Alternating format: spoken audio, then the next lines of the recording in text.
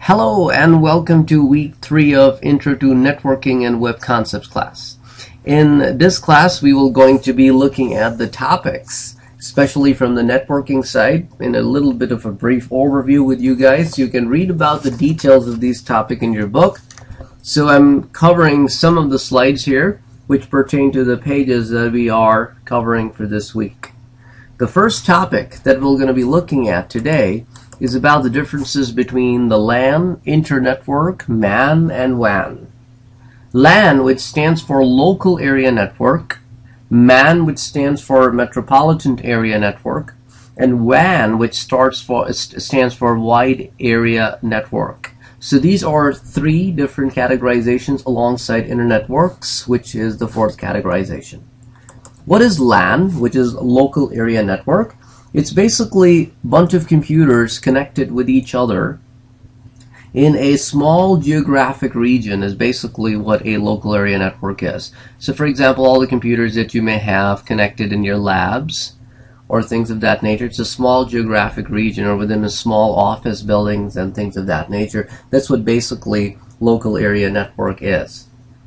On the other hand, if we look at the metropolitan area network, the range is a little bit wider, uh, approximately within a 30 miles radius. Things that are connected, for example, sometimes the office buildings are connected or college campuses are connected, things of that nature that spread out to a little bit of a larger distance than a local area network is pretty much a met metropolitan area network. Um, for the most part, in these days, MAN and WAN are quite interconnected.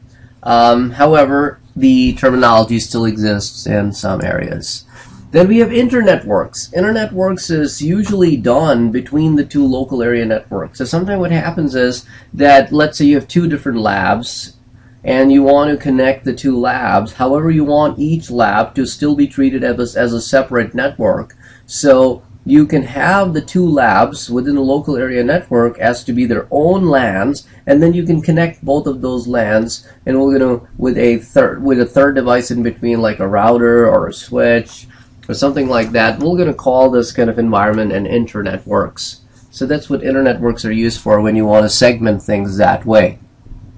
And the last one on our list for the types of networks is wide area network, which of course spread as far as global. Any point to any point connected, it's wide area network. Then we're going to be looking at a couple of other terminologies. If you um, had an opportunity of running ipconfig or ipconfig uh, space slash all in the DOS environment. So if you simply go to the start button and in your search box you could type cmd or you could click start and you can go to all programs and then you can go to accessories and then that's where you can find the DOS prompt.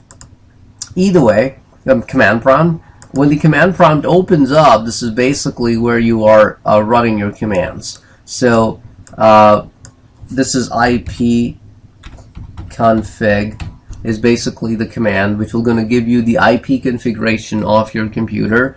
And slash all gives you all configurations uh, pertaining to the IP config from your computer. So those are a couple of commands that you can actually run to see your IP configurations. The same information can also be seen from the control panel.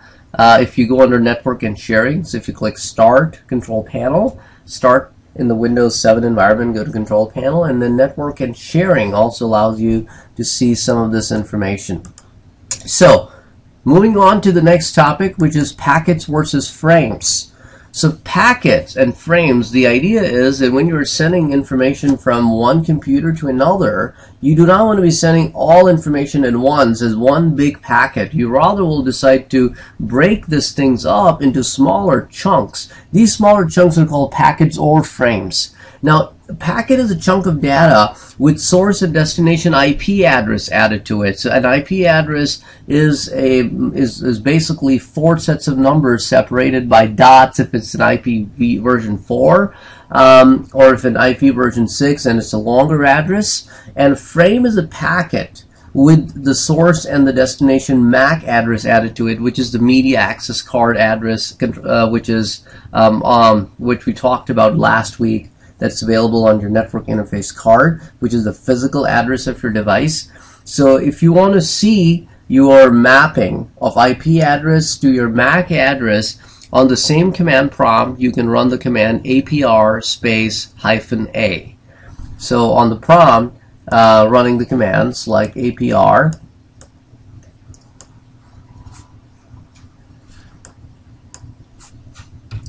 arp hyphen a will going to give you your address uh, protocol um, uh, address ARP address resolution protocol minus a we're going to give you your IP to MAC mapping so that's another way to look at, okay, which IP is assigned to which MAC. So ARP, which is the Address Resolution Protocol, which allows you to do that. So anyway, let's move on to the next slide here, which is about clients and server, another topic talked about in your book.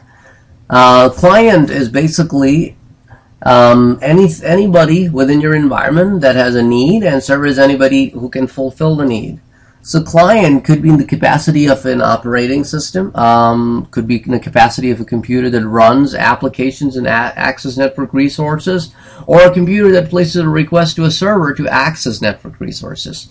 On the other hand, server actually could mean a, a server operating system that means a machine which has a server operating system, which is uh, a software, or uh, it could be a computer that controls other computers, or it could be a computer that responds to the request of the other computers who want to access the network resources. For example, the next slide I'm going to explain a little bit more about client and server.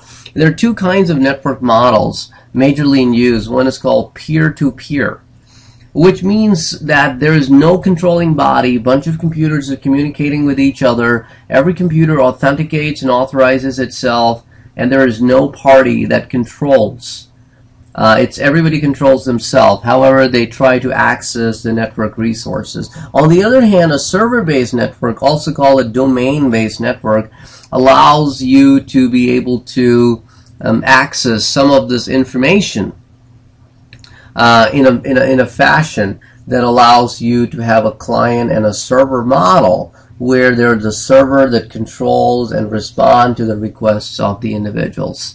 So uh, in a server-based model, you probably could have an individual, uh, a computer which is responsible for authenticating the users and authorizing them access to the network resources or redirecting them to be able to access the internet and things of that nature. So that's basically the client-server based network model.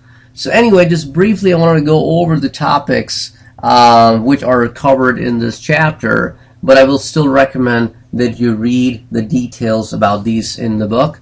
Thank you for watching. Have a good day.